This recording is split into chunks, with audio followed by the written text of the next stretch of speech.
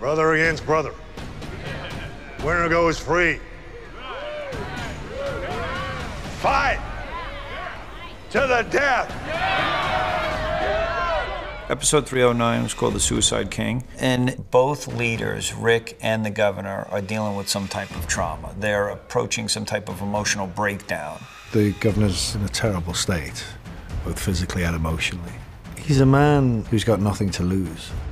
Don't do this. Don't do this. The very fact that the governor would turn on his own man, Merle, the man is showing who he is. And it's a big wake up call for Andrea. Me and my brothers up the creek without a paddle. This might be it. We're gonna die. As an audience, we've never seen these two characters coexist. They haven't been together in almost a year, and it's instantly, how are we gonna get out of this? It's a long shot to try and rescue Daryl. The priority is to get out of Woodbury as quickly as possible. When the arena is attacked, I think he almost enjoys it. He doesn't care what happens to him, and he doesn't care what happens to Woodbury.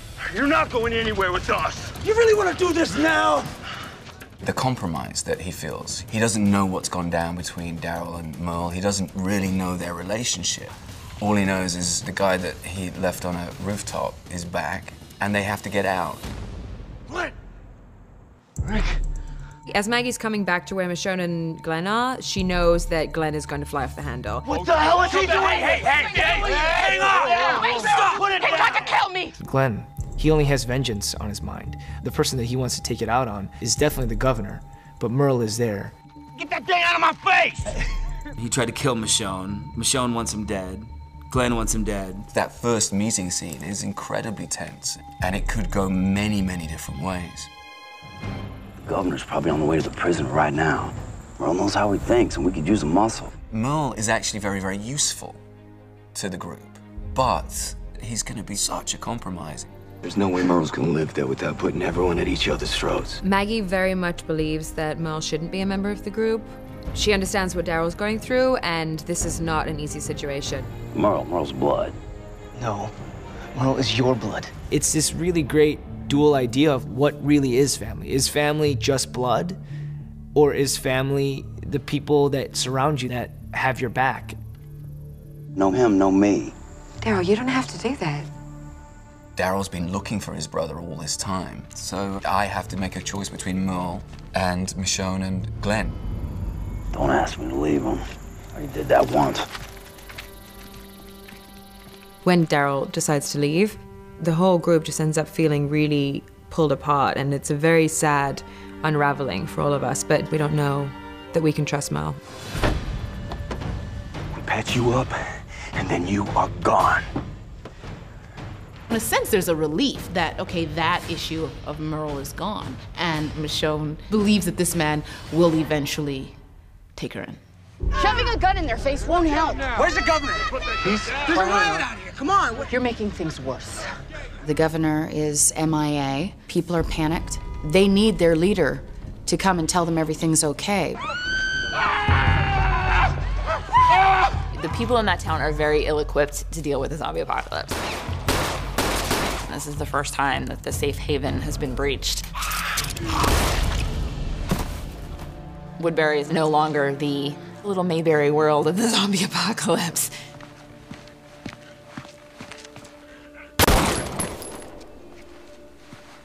The governor's coming out a little bit more like the governor that I've been waiting for.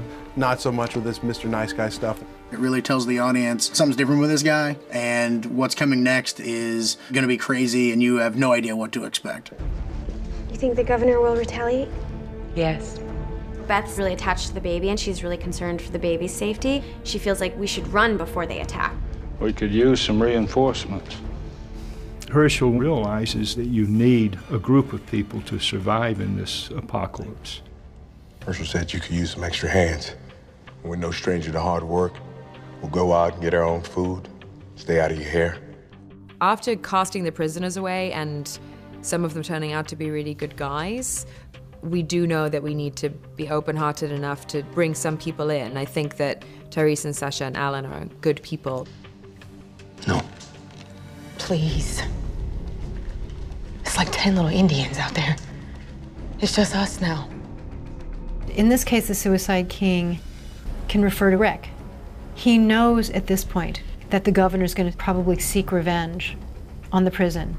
These are some strong survivors that could help them, but he makes a suicidal choice to turn them away. No. Let's talk about this. Seeing the good in humanity is a much harder thing to do when the cost to you can be so high. You got to start giving people a chance.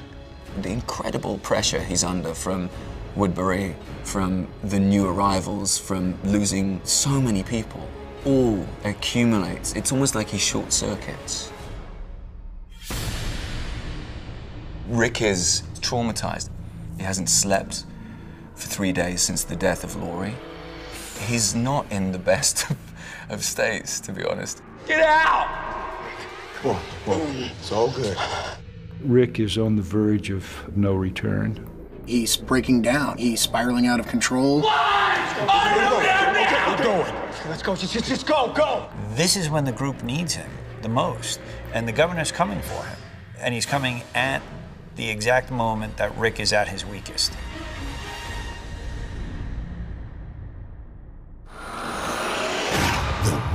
Dead. All new episodes Sunday nights at 9, only on AMC. For more exclusive video, go to amctv.com.